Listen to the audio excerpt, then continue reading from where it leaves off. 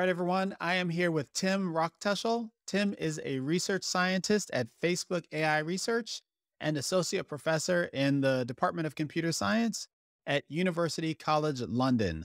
Tim, welcome to the TWIML AI podcast. Thanks so much for having me. It's great to be here. I am really looking forward to digging into our conversation. We'll be talking about one of my favorite topics, which is reinforcement learning. Uh, but before we do, I would love to have you share a little bit about your background and how you came to work in the field. Uh, sure. Yeah. So I um, started a PhD actually in natural language processing at University College London in 2013. Um, I got interested in generally knowledge representations, knowledge graphs, and how we can reason, uh, you know, about knowledge and for new facts from these knowledge graphs. Um, I also did some work on um, textual entailment and uh, other NLP problems, but I got more and more excited about um, reinforcement learning. I felt um, in NLP, lots of the data sets back then, they were static and it was mostly, you know, chasing uh, scores uh, on leaderboards. And I was very intrigued, I guess, by work that came out of, uh, you know, top AI labs like DeepMind and OpenAI at the time. Um, so I, you know, went over to Oxford, did a postdoc with uh, uh, Shimon Whiteson's reinforcement learning group there. And then after the postdoc, um, I joined UCL as a lecturer back then and also Facebook AI research in London. Awesome. Awesome. And when you think about your kind of research uh, agenda at the university and the work that you focus on at Facebook, how do you characterize it? What are the bounds of your interests? So the thing that we care most about at this point are being able to train agents that can somewhat generalize to novel situations. So we strongly believe that um, over the last decade, uh, quite a bit of the research in the field has unfortunately focused on very limited environments. So, uh, you know, games like Atari games come to mind. This has been obviously um, really fantastic for advancing the field, but it can only go so far in that, you know, Atari games are deterministic. Um, there's only so much kind of novel situations that you encounter in these kind of games. And we are really far away from being able to apply these reinforcement learning uh, techniques to uh, lots of the real world problems that we would care about. So, um, really, my work focuses on how we can move closer towards these kind of real world problems. How can we drop some of these kind of simplified assumptions that are baked into some of the uh, you know environment simulators that we've been used for driving uh, reinforcement learning research? And um, from there, basically, it's a slippery slope into um, procedurally generated games and uh, you know, training agents that are intrinsically motivated in careers, even uh, training agents that can design their own kind of problems in these simulated worlds to then hopefully get agents that can generalize better to um, new tasks and new situations. And when you talk about kind of these constrained environments versus unconstrained environments, is a unconstrained environment something like you know what we might be familiar with with OpenAI Gym or MuJoCo or something like that, where you have these figures or humanoids, or do you think about that differently? So it's a bit different. So OpenAI Gym is a really fantastic interface that allowed uh, us researchers, right, to basically speak the same language in terms of how to interact with environments. Um, but it's really just an interface, right? And then there are lots of different uh, and actual environments that connect to that interface. For example, Atari uh, games are, uh, you know, connected to this OpenAI Gym interface. So if you, as a researcher, want to create a model um, or new you know RL agent that should you know do something sensible in these environments, you can just follow that interface, and other researchers kind of can you know write other models, and they're all kind of compatible in terms of interacting with that environment. Uh, same goes with MuJoCo. Um, so so the problem with uh, things like MuJoCo or um, you know other environments that we've been using for a long time is that they are somewhat limited, right? Each of these environments make or have baked in certain simplifying assumptions that unfortunately mean that when a you know cohort of researchers over a long time do research on it, eventually they find uh, uh, ways to basically um, exploit these simplifying uh, assumptions. Now, I'm not saying that you know we can directly jump into completely unconstrained environments. The only such environment that comes to my mind is the real world, right? We would have to directly make a jump towards training, you know, real robots in the real world, and that's um, for many reasons. I think very uh, challenging, right? It's it's slow because you can't, you know, speed up time. Uh, you have all kinds of engineering challenges with robots falling apart and whatnot. So mm-hmm. I'm saying we still find to use simulated environments that are somewhat constrained, but we need to be very um, explicit about the simplifying assumptions that are built into these environments. And we need to gradually remove them to be able to then develop methods that are somewhat of a general nature so that we have the hope at some point to learn something generally about training agents that can do things for real world tasks. Mm-hmm, mm-hmm. You know, we, we've talked a lot about in the context of, for example, computer vision, how uh, deep learning models are so good at picking up patterns. Uh, they, you know, will pick up uh, a pattern that is, you know, correlated with the the result that you want, the label that you want, but not really the one that you want them to pick up. Um, an example that comes to mind from a recent conversation was uh, the you know a pen mark that happened to be used um, on a radiology image to you know that's correlated with whether there's cancer in the the actual specimen. You said something that kind of suggested that you know in the RL setting, the models will you know pick up on these kind of tangential um, constraints of the environment and that um, impacts the way that they uh, the way that they're trained, et cetera. Is that is the you know there's similar effects in in that way, or it's actually worse. Um, it's um, you know that problem we also have, right? So the moment you use deep function approximators like deep neural networks um, that get any input as data, they might, as you said, um, they might just latch on to certain spurious correlations in the data. That is true for natural language processing, computer vision. That's also true for reinforcement learning uh, uh, environments, right? If you happen to have, um, for example, a certain, you know, visually rich reinforcement learning environment where the agent is supposed to do a certain task, maybe there's a certain cue in the training uh, episodes that allows the agent to you know do well there but then once you change something slightly you change the background you change some of the textures in that in that environment the agent will most likely break down and not do anything sensible. So that's that's that problem is there too. What I'm talking about is, uh, I think, a, somewhat a, a, worse problem in that, um, we as researchers, right, we oftentimes um, design in RL, we design our own kind of environments to do the research, right? We um, create, um, you know, our, uh, our own kind of games, or we use um, games like the the Atari games, and that works for some time. But if you are then not careful, right? You as a researcher over years and years as a as a research cohort, right? You start to actually exploit that simulator. You say, okay, now we have an agent that can, you know, solve some of the hardest exploration problems in Atari. But then really what does that tell us for the real world? Right? What does it tell us for real world problems when let's say all your agent is doing is kind of memorizing over time what are the right steps to do. If you change anything in that game, you know, this agent would be screwed, right? So how do you how do you learn something general about uh, AI agents that you want to deploy at some point to solve, you know, actual real world problems? That's the that's the challenge. Yeah. Got it. So go, going back to the comparison with computer vision, it's kind of the overfitting on ImageNet problem. Yep. Yeah, exactly. Uh, and so, how do you propose to address this problem? What are what are some of the things that you've done in this area? So, I mean, to be honest, I think one can step back a bit and say actually there were multiple researchers that recognized that problem um, some some time ago. So a few years ago, people started to use what's called um, procedurally generated environments for training and testing RL agents.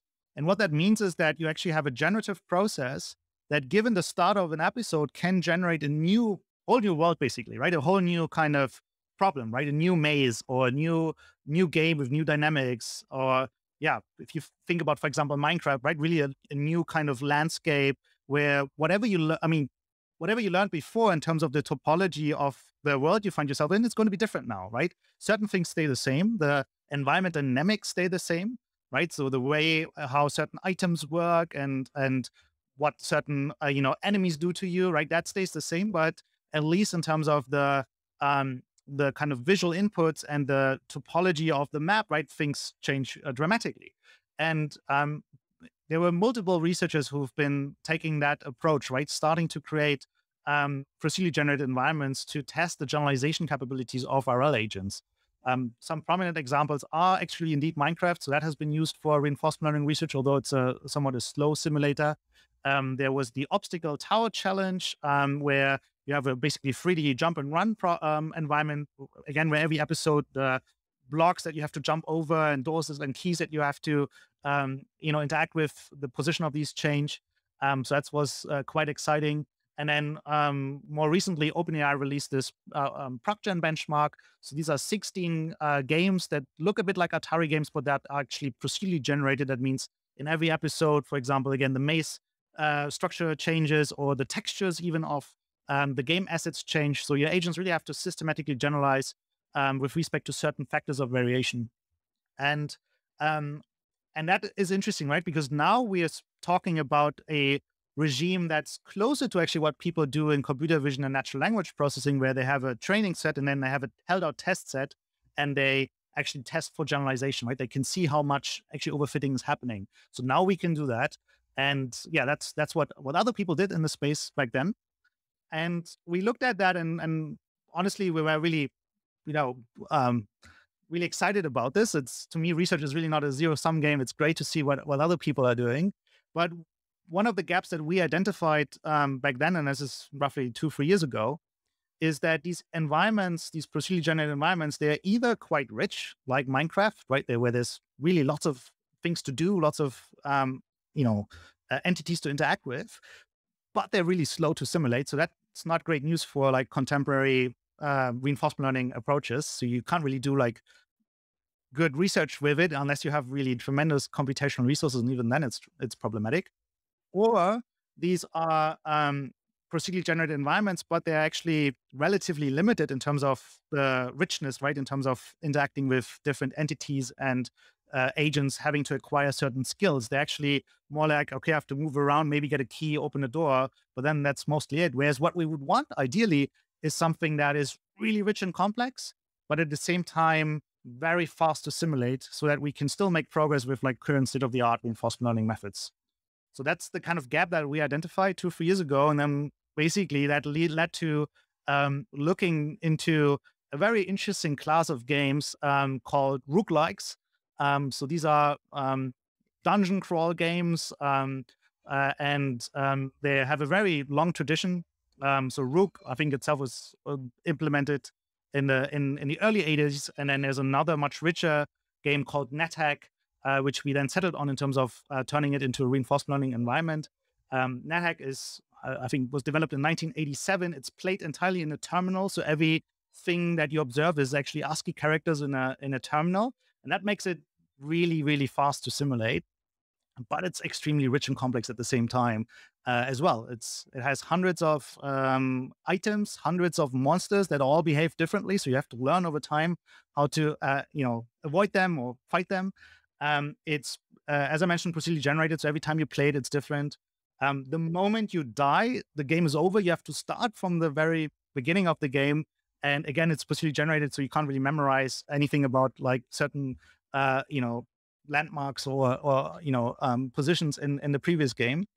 Um, and it's very long as well. It takes an average player something like fifty thousand steps um, to complete the game. That's very different to some of the grand challenges that have been uh, used in the past for AI. If you think about StarCraft 2, for example, that game takes uh, something like 15 minutes. And depending on how many actions you allow the agent to do per second, it means something like 2,000 steps for an episode. Whereas here we're talking about, as I mentioned, 50,000. Um, is open source. So then, you know, we decided to say, look, we're going to turn that into an RL benchmark and we're going to see how well, you know, vanilla deep reinforcement learning uh, approaches do. And that's, yeah, that's what we did. Nice, nice. And uh, so, what does completing the game mean uh, for NetHack? Is it kind of finding your way through a world, um, you know, and overcoming the various challenges that you mentioned, fighting with monsters and finding treasures and that kind of thing? Yeah, so it's um, it's a yeah fantasy kind of dungeon crawl game. So basically, you um, you get thrown into a dungeon uh, with rooms and corridors connecting these rooms. You have to explore uh, in there because the environment itself is partially observable. You only see kind of what's in the current room. The moment you go out, right, there can be things happening in there that you don't see. That itself is challenging for RL already. It's stochastic, so in the moment you attack uh, a monster, there's a die roll in the back, um, like in Dungeons and Dragons, right? And your outcomes of your actions are uncertain. That's again a really major challenge uh, for like current state of the art RL approaches. But yeah, yeah, as a player, you would basically uh, try to fight your way uh, down. Right, so there's mm-hmm. staircases mm-hmm. down. You get to the next level, next level. There are over 50 uh, procedurally generated levels that become more and more difficult. At the bottom of that um, uh, dungeon, then is uh, without hopefully spoiling too many people, is an amulet that you need to retrieve, and then you need to make your entire way up again. And okay. then there's five more really challenging uh, elemental planes, um, and then at the end of it, you need to offer the amulet to uh, a in-game deity, and then you ascend to demigodhood, and you have won the game. It's Got extremely it. challenging. uh, it, was it a game that you played before you started doing the research in this area? Um, I did, yeah. So I I did play a much simpler kind of clone of it that you can play uh, easily on the smartphone, which is called Pixel Dungeon, which I enjoyed okay. a lot. Um, but then uh, it was at a time actually when I was commuting between Oxford and London, so that's kind of a two-hour commute door to door where you take a train, and on that train, at least in evenings after a full day of work, uh, yeah, I did then start to play NetHack. Um, specifically when we started to get serious about this project, uh, mm-hmm. uh, it took me two years to win in this game for the first time. Wow! Um, so it's, it's it is really really challenging, um, but also very funny. nice, nice. Uh, when you talk about it being procedurally generated, how many parameters are you know do you have uh, control over when you're generating a game? Is it you know you give it a seed and that kind of uh, creates everything, or do you have more fine grained control over you know number of levels or difficulty or other things? Um. So yeah, basically, if you just take NetHack as it is, you, you define a seed and then the dungeon is created. It's very subtle, actually. It's it's very tricky in the sense that actually there's a random number generator in the background, obviously, that is only advanced when you do an action that would uh, lead to a stochastic outcome. So depending on the kind of, even if you set the same seed in the beginning, depending on the kind of interactions you have on the first level, the moment you go down to the next level and depending on how far that random number generator has been already advanced, the next level is going to look differently. So one thing you can't do, even by fixing the seed, you won't get the entire dungeon the same way. You just get the first level the same way. And that is even true for like contents in kind of containers like uh, you know boxes. So it's it's a bit like basically that disqualifies many of the uh, you know approaches that have been um, proposed that would uh, you know make use of the fact that the simulator is deterministic. Even if we try to make NetHack deterministic, it's a bit challenging. Uh, and so, in publishing the the the environment and the challenge, do you um, have you also attempted to solve it? And what have you learned? What do you run into when you set RL agents loose in this kind of environment? When we released uh, the the NetHack learning environment last year and presented it at NeurIPS, we have uh, in that paper results of a distributed deep um, reinforcement learning approach, a pretty much kind of vanilla um, model. And um, we originally thought that this won't work at all. Basically, it's way too hard even for um, such a kind of state of the art approach to learn any meaningful behavior.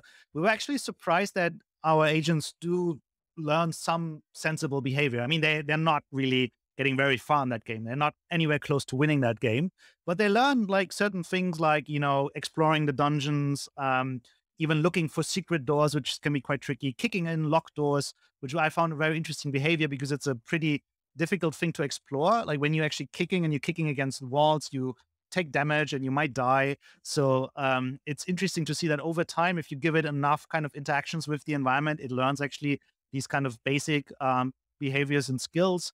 It learns to go deeper and deeper into the dungeon. Um, it alerts, learns to avoid certain very powerful um, uh, monsters. Um, it learns to um, eat, which is very important in, in the game to actually not starve uh, to death. Um, but you know, they get to like you know average dungeon level five or six. Some lucky agents get to dungeon level ten or fifteen even. We saw that too, but that's all like very basic, um, basic behavior. It's not on on the level of like a human when they start learning to play NetHack they've never played it before. If they play for a week and they get to the same kind of level of uh, of skills, I think they're they're quite good. But then you know afterwards, humans just are much much better at kind of nailing this over time. And is there a, a score associated with the game, or what is the like the fundamental driving signal that you're giving your agents to to to give it success, um, some kind of success notion? Yeah, that's a fantastic question. Um, there is an in-game score. Um, that score captures things like, um, you know, how deep did you go down in the dungeon? How many monsters did you kill? And it's a really terrible metric to try to optimize for in terms of actually winning the game. Yeah. And we, but that's basically what we did, right? We we we started simple and say, okay, let's use any kind of metric that we can think of. We tried the score, and what happens is basically what you expect. Like if you get reward for going down a dungeon level and killing stuff, you get an agent that just you know goes completely berserk, tries to kill everything in their path more or less, and just tries to run down the dungeon level as quickly as possible without hmm. caring about actually you know finding items equipping them in order to get mm-hmm. stronger in the long run so it's a very tricky challenge right how do we what's even the right reward function so that yeah. we can guide an agent towards winning the game and to be very honest i think humans don't care about score when they learn to play this game they don't even care about winning because it takes them hundreds or maybe even thousands of mm. games before they win for the first time for humans something different happens right they get just excited about exploring and they are intrinsically motivated to learn about how this game works and what kind of funny things you can do with it. So that's mm-hmm. an, I think an interesting um, interesting angle to it. We have to, I guess, you know, find ways to intrinsically motivate these kind of agents to explore. Yeah, and so that uh, that sounds a lot like curiosity and and leads to ideas about kind of the explore exploit knob. Is that something that um, you know? What do you see when you kind of play with a knob like that with a, an agent in this environment? Yeah, so we um we provided another baseline in that in that NeurIPS paper, which is indeed like such an intrinsic reward mechanism. Uh, it's called random network distillation. It's a very robust um, method, um, and it does give you small gains um, and significant but small gains. I think we have to more long term. I think we have to think about more fundamentally different ways of encouraging agents to explore things that are not directly based, for example, on counting. That's really doesn't work here, right? Because every game looks different. So you can't really count the observations because most of them you only see once. Um, you um, could try to um, come up with intrinsic motivations derived from how much um, you can predict the future. But even that is really difficult in a stochastic environment that's procedurally generated, where you go around a corner and you, you can't really know what's going to be around the corner or in the next dungeon level because it hasn't been generated yet.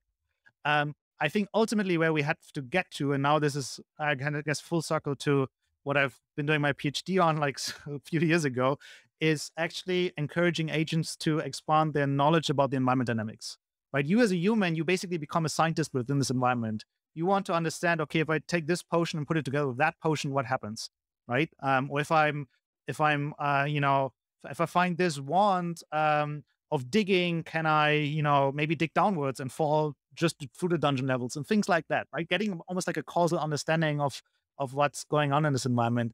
So ideally, I think we at some point have agents that just reward themselves by discovering something new about the environment dynamics, not so much about actually what happens in a specific episode.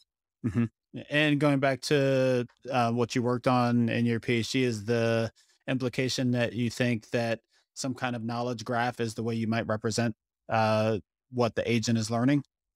Yeah, I think. I mean, we're not like working on that explicitly right now, but um, one of the things that are I think exciting is the environment itself is, is symbolic. So you don't actually observe the pixel. You don't have, to observe pixels. I mean, you can do that, but mm-hmm. you don't have to, right? You can actually just take the characters that are on the screen, the ASCII characters, and try to represent each symbol, right, using a vector. And then you could um, you could basically build relatively structured models, neurosymbolic models for that. Um, we haven't done that, but but that that is an option. Another thing that's interesting about that direction is the fact that there's also um, uh, what's called the NetHack Wiki. This is a basically a 3,000 document uh, domain specific Wikipedia for the game of NetHack, hmm. where mm. humans over decades have been basically collecting all kinds of advice. And it's very interesting because it's not like a step by step walkthrough that you would normally you know see in, in in in some of the kind of video games that people play right? It's not like a step by step that tells you okay here you have to go left here you have to collect that item to then be able to do this or that. It can't be right? Because because the game is procedurally generated it can only be very high level strategic advice. Uh, so how mm-hmm. to utilize that for kind of you know imbuing agents with a lot of prior knowledge uh, in terms of how to explore or what to do in certain situations i think is a very interesting direction, partly also because that NetHack wiki itself has lots of structure. So lots of kind of, you know, names and entities that are linked to each other that you could yeah. use in some way. And yeah. have there been attempts to do that? Um, not that I know of. So we, um, we have this approach that we really like sharing these kind of environments and and the baselines and our research uh, publicly and openly. So we've open sourced all of that. People are invited to to compete on that on that environment. We've even for this year organized a, a NeurIPS uh, NetHack challenge um, where we got sponsorship uh, from Facebook AI Research and, uh, and DeepMind as well, where we invited both deep uh, reinforcement learning researchers as well as actually bot makers, so people who try to handcraft uh, solutions for this uh, for this uh, environment. And we really want to see what people come up with. Obviously, we have our own kind of research directions as well, but often we use NetHack more for kind of inspiring um, uh, you know problems that we want to work on rather than trying to say okay we're going to do anything we can do just to beat that game right? We're going to use you know hundreds uh, or hundreds of thousands of gpus to just like try to look for our way we really see it more as a generator for kind of problems that are interesting for reinforcement research. Mm-hmm. and we we started this conversation talking about um, trying to provide an alternative platform for RL research that was less compute intensive than some of the uh, the previous things. But it sounds like it still can be computationally intense to you know set an agent up to navigate this environment. Uh, can you characterize the you know is it you know hundreds or thousands of GPUs required or GPU hours or like what's typically required to um to train an agent for this environment?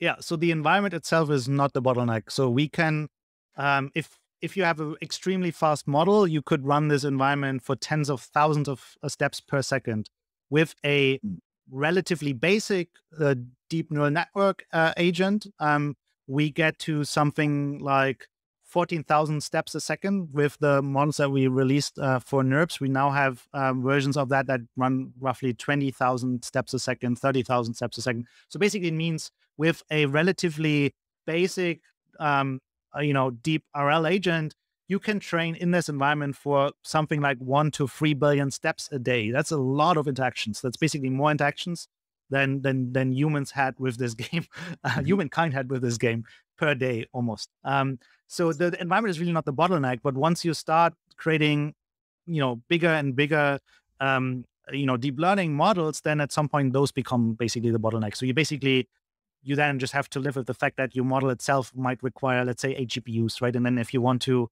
um, if you want to um, do a hyperparameter sweep or you have multiple, um, you know, ablations that you want to run, then you find yourself, yeah. well, n times that, right? But for a researcher, right. I mean, you can, I think you can do really exciting research with that environment with just one GPU. That was the plan from the from the get go. Mm-hmm. Mm-hmm. You mentioned that the goal of the project isn't so much for your team to solve it, but to inspire other research directions or advances. What are some examples of those? Um, so, well, one example we already mentioned, right? This is, um, uh, you know, how do we imbue agents with intrinsic motivation to learn to explore in such an environment in a somewhat open-ended way, right? I mean, there's so many things to explore. There's so many, as I mentioned, hundreds of items and entities to learn to interact with. Um, another direction is uh, learning from demonstrations. So humans have been playing this game for a long time, for like three decades. And um, as of, I think, two decades ago, there are kind of online web pages where you can play the game by SSHing into a server and you can actually record your game. Because it's so incredibly hard to play that game, basically, people were interested in getting proof that they actually won this game with fair means, right? So uh, that's part of, of that story. And actually means there are 5 million online recorded games that uh, everyone can have access to. They are hosted on alt.org.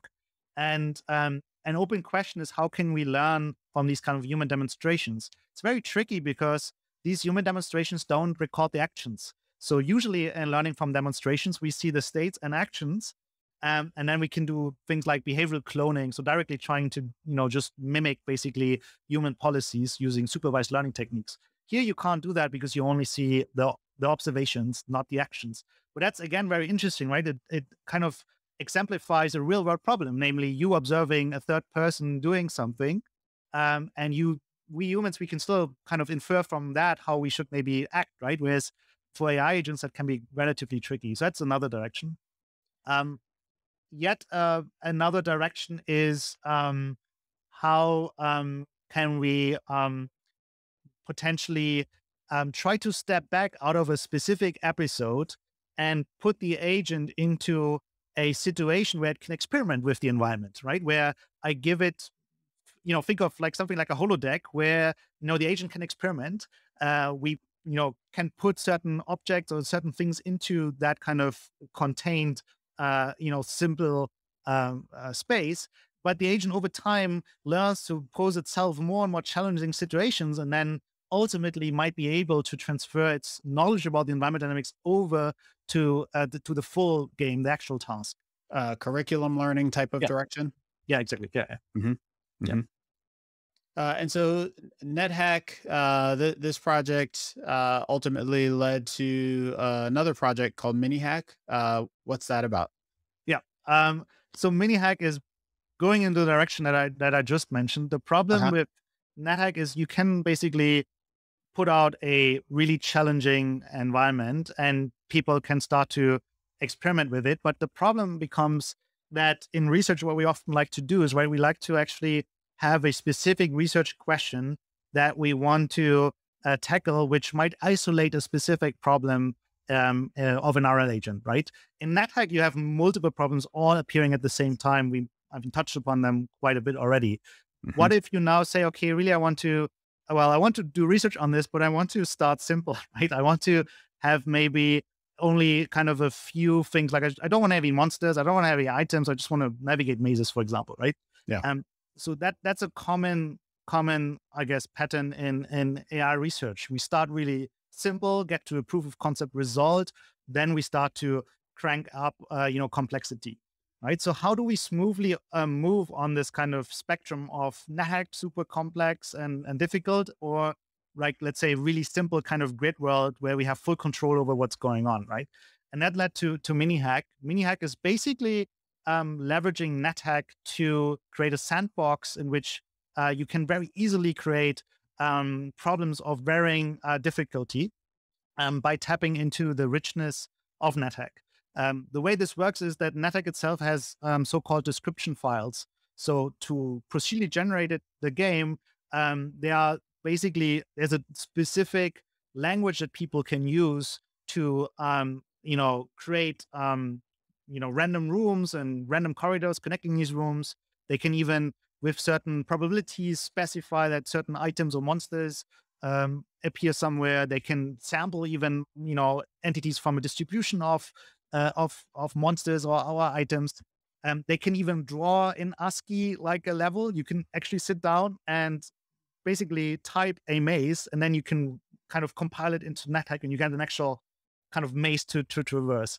So this kind of domain-specific language is what what enabled MiniHack. So it's basically a way to create um, create lots and lots of interesting reinforcement environments that are more contained, but also very easy to extend using that domain specific language. Got so it. Whole so kind of environment zoo basically.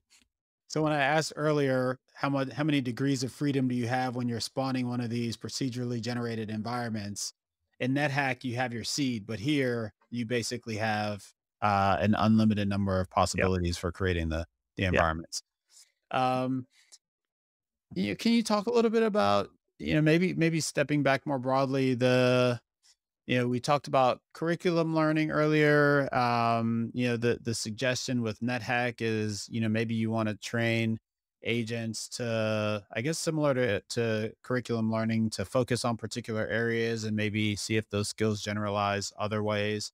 Uh, what's the you know kind of current state or thinking or frontier of curriculum learning and transfer learning uh, in the realm of rl i guess we have i mean there's some work that that that we are focusing on. But I think more generally, I guess there's a there's just a question around even what kind of generalization we want to see, right? Do we assume we have, you know, a fixed number of tasks and we have to, you know, we can sample problems from each of these tasks and we learn over time basically to identify when we are on an episode which kind of task we're in and then do well. Um, the same agent, you know, do we is the goal for the same agent to play uh, Breakout and Montezuma's Revenge and NetHack? You know, Right. those are the tasks we're talking about, for example. yeah that, that could be that could be the task right you might Yeah. have all the over 50 games in, in in atari and you might say clearly there's something to be transferred from learning how to play one game over to learning to play a different game and maybe you want to figure out in which kind of uh, order you should be presenting these kind of games to a learning agent um, but yeah i think i mean there's there's it's it's really tricky right? Like how do we how do we test for the kind of generalization that we want to test? Um, what are the kind of assumptions that we bake into the kind of curriculum method that we that we that we're developing? Um, in our case um, we started off with the assumption that there's actually a seed uh, that generates um, um, the same kind of world every time we you know use that seed i already mentioned in nethack itself that's already not possible but in somewhat more simplified um, uh, environments for example openai ProcGen's um, benchmark with these 16 different procedure generated games. For each of these games, you can specify a seed, and then you're going to have the same kind of, let's say, maze or the same kind of, um, you know, uh, you know, jump and run kind of uh, level.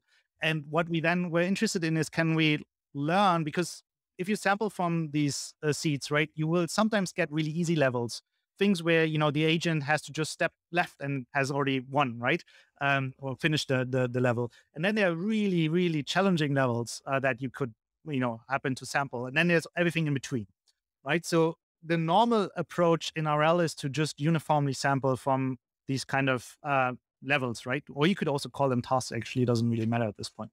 So that's the normal approach. Um, what we were interested in is can we learn how to um, how to sample uh, these kind of levels in a way that we start with the easier ones, so that the agent can start to learn certain skills, and then gradually move over to more and more challenging uh, levels. And this is um, this is interesting because you basically always want to be at the frontier of the what the agent can currently do. Right? You don't want to present uh, levels that are too easy and not uh, levels that are too hard. So You always want to be somewhere where the agent isn't really sure whether it's going to do well or not.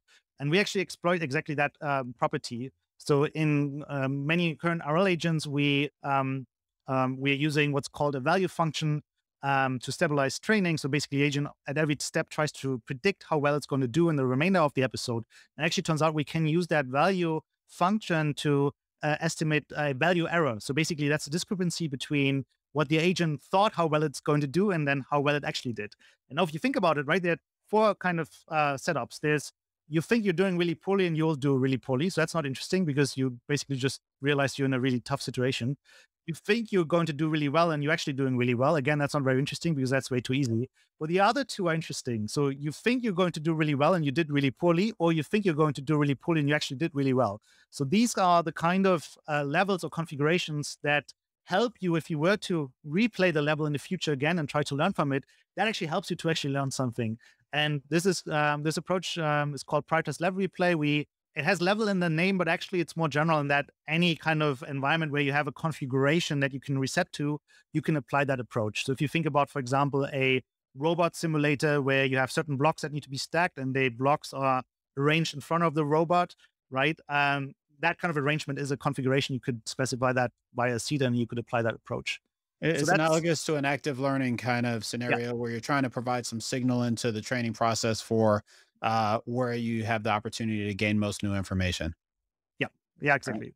Okay. Um, and going further now, um, this is a paper that that we just got accepted at NeurIPS.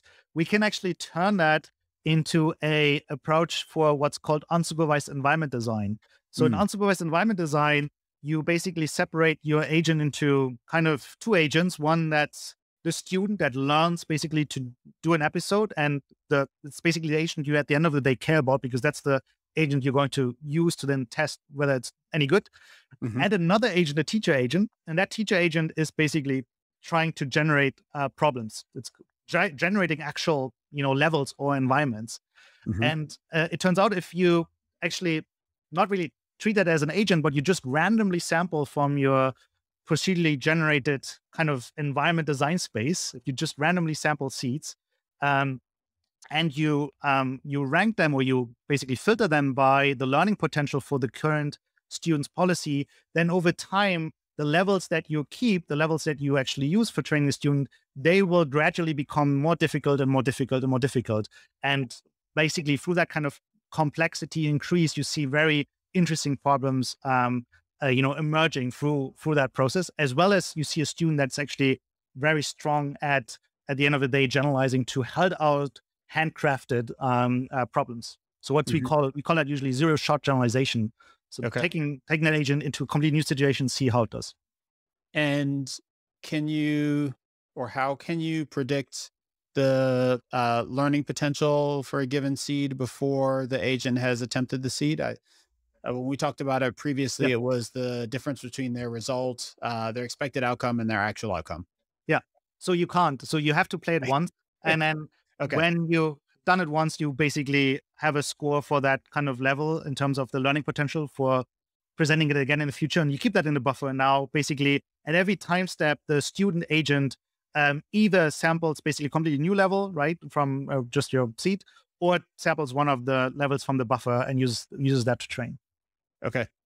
No. Uh, and then ultimately, you're trying to drive with this uh, adversarial approach, like greater training efficiency and converging on successful agents more quickly. Yeah. And, um, what kind of results have you seen uh, in applying the technique? So the the things that we did was we started again very simple, right? I mean, again, I mentioned this kind of spectrum of okay, yeah. you can say here's a super complex environment, and here are like more kind of toyish grid worlds. We started mm-hmm. with the grid worlds, um, and we um, trained agents to basically generate mazes, and then student agents to navigate these mazes. That mm-hmm. itself is not a super interesting problem because you could just code up uh, a symbolic uh, agent that is really good at traversing mazes. But it mm-hmm. presents an interesting challenge for reinforcement learning because you only get reward when you finish the maze, right? And depending on how big your maze becomes, this is very, very tricky. Um, so now we have this kind of process, you know, that's um, generating the teacher generating or curating, basically. That's how we call it, curating levels for mm-hmm. student to learn. And then you actually see over time the kind of uh, levels that are kept to train the student agent. They become quite complex they have a quite interesting uh, structure that resembles to some extent actual mazes. So now the student learns in that, and then we take it out of that kind of um, space and actually present it with handcrafted, quite tricky mazes, and we see how well the student does in these. And actually, we do see quite quite strong zero shot generalization to these kind of held out problems. So just to be hmm. very clear, this is really kind of out of domain generalization in that these kind of handcrafted levels were not within the distribution of the levels that uh, you would normally see during training, right? So that's that's a kind of interesting bit. Mm-hmm. Then we thought, okay, if that works for mazes, maybe we can also do this in a continuous control environment. So we actually moved over to 2D car racing, and we um, let the teacher to basically over time generate um, Formula One tracks. I mean, not actual Formula One tracks, but yeah. basically race tracks. And we have the student kind of trying to get through these as quickly as possible. And then we again have held out handcrafted racetracks, namely actual Formula One tracks, and see how well the student can generalize to these kind of unseen tracks. So mm. in both cases, we see uh, a strong generalization performance. Got it. Got it. And when you say the the uh, handcrafted maps are out of distribution, how far out of distribution, or are they out of distribution in any particular ways? Are they uh, more complex? Are they? Do they have different features? Uh, yeah, so they have more blocks, they have more structure um, in the kind of you know levels you get by just randomly sampling basically blocks on a on a on a map, right? You you're not necessarily getting a lot of really complicated structure. But we have like mazes where you have a labyrinth, for example, or you have mazes where you have lots of different kind of corridors and you have to basically check each of them and you have to backtrack, right? You have to memorize where you already mm-hmm. been. Um, and and these were the kind of held out uh, mazes. I don't have a quantification of how much out of yeah. distribution they are, but basically on if you look at the paper and you you eyeball basically okay here are the randomly generated ones, here are the handcrafted ones. You'll see a very notable difference. Got it, got it. Uh, and then uh, what what's next? What what what uh, research directions? You know, we've talked about uh, several potential directions. Uh, what are you most excited about uh, in terms of building on this foundation? So one of the things I'm very excited about is this this space of unsupervised environment design. I think we as a field only started to scratch the surface of that. Um, in an you know ideal world, in the next kind of few years, we have I think very interesting AI systems that really can create very complex, rich, um, uh, you know, interesting uh, you know, whole worlds, right? I mean, not just like 2D mazes, but you know, imagine kind of uh, you know 3D um, Minecraft environments, right? And we had then have also students, uh, student agents that learn to do very interesting, complex stuff in these environments. I think that would be something that would be very exciting, but I think it requires a lot of um, additional work in that uh, you need to basically, I think, over time compound complexity, right? If you were to design a level for me, I don't think you would just randomly or like just with one kind of stroke sketch one, right? You would actually start somewhere and then develop it slowly over time. You would test it out, right? See what actually a student now does in the level. And then depending on whether it does really well or poorly, you'd start to, I guess, refine it a bit. So I think there's lots of stuff to be to be done in that space. And some one of the things I'm very excited about. Um, the other thing I'm excited about is, I guess, more ways to intrinsically motivate agents, as we discussed earlier, right? How we how do we make sure agents uh, just get excited about expanding their knowledge about certain dynamics in the environment um, really some kind of open-ended process that just uh, you know allows the agent to explore all kinds of things in the environment becoming basically a scientist within such a simulated environment that's something that's that's also very exciting to me um, and then i think also just looking more for yeah applications in in in other uh, domains and environments i think one of the things that we really want to I guess, be able to do is develop methods that are of somewhat general nature, right? That's why we cared about, okay, we start in the grid world with discrete actions, but does it also work in a continuous control environment, right? So this is, I think, very, very important. Likewise, I think it's very important for us as a field to be very explicit about the kind of simplifying assumptions that are baked into some of the environments that we use for research. And I think mapping that out in a bit more structured way would be very useful as well.